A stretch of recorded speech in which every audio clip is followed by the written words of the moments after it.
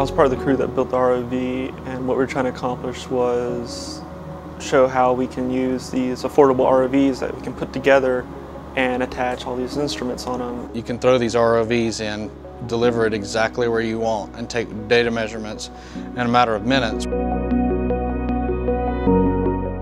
So we actually made it at the campsite, um, and it took us roughly six hours.